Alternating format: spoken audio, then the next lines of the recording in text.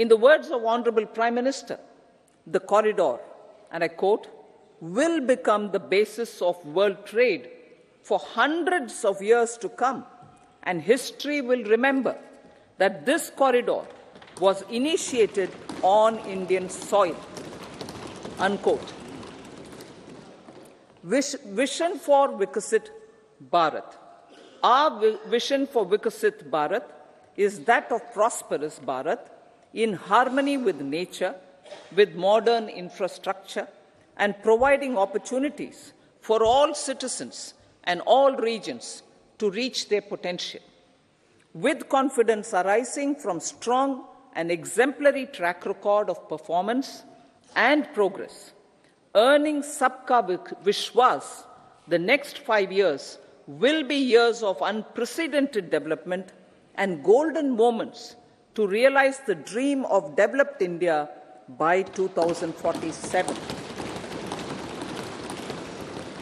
The trinity of demography, democracy, and diversity, backed by Sabka Prayas, has the potential to fulfill aspirations of every Indian. As Honorable Prime Minister in his Independence Day address to the nation mentioned, I quote, there is no dearth of opportunities, as many opportunities as we want. The country is capable of creating more opportunities. Sky is the limit. Unquote. Strategy for Amritkal. Our government will adopt economic policies that foster and sustain growth, facilitate inclusive and sustainable development, improve productivity, create opportunities for all, help them enhance their capabilities, and contribute to generation of resources to power investments and fulfill aspirations. Guided by the principle reform, perform, and transform, the government will take up next generation reforms and build consensus with the states and stakeholders for effective implementation. It is an important policy priority for our government to ensure timely and adequate finances, relevant technologies, and appropriate training for the micro, small, and medium enterprises, MSMEs, to grow and also compete globally. Orienting the regulatory environment to facilitate their growth will be an important element of this policy mix. Aligning with the Panchamrit goals, our government will facilitate sustaining high and more resource efficient economic growth. This will work towards energy security in terms of availability, accessibility, and affordability. For meeting the investment needs, our government will prepare the financial sector in terms of size, capacity, skills, and regulatory framework.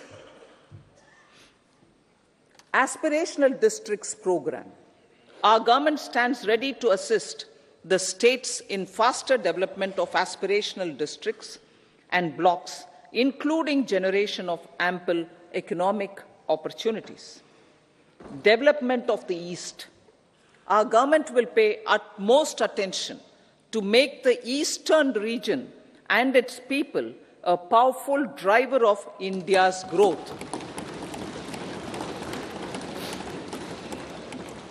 PM Awas Yojana Grameen. Despite the challenges due to COVID, implementation of PM Awas Yojana Grameen continued and we are close to achieving the target of 3 crore houses. 2 crore more houses will be taken up in the next 5 years to meet the requirement arising from increase in the number of families. Rooftop solarization and Muft Bijli. Through rooftop solarization, 1 crore households will be enabled to obtain up to 300 units free electricity every month.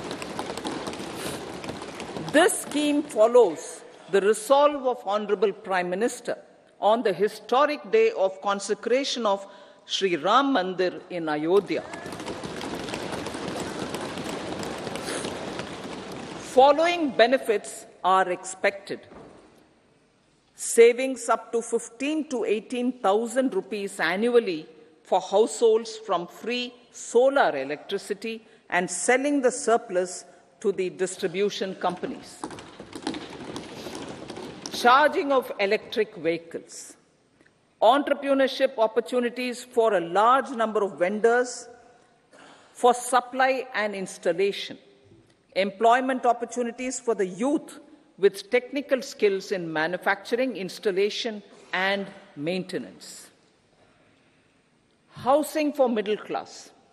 Our government will launch a scheme to help deserving sections of the middle class, and I quote from Honorable Prime Minister's words living in rented houses or slums or chawls and unauthorized colonies, unquote, to buy and build, to buy or build their own houses.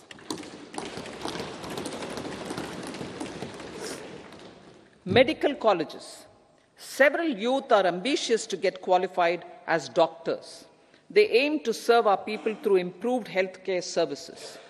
Our government plans to set up more medical colleges by utilizing the existing hospital infrastructure under various departments.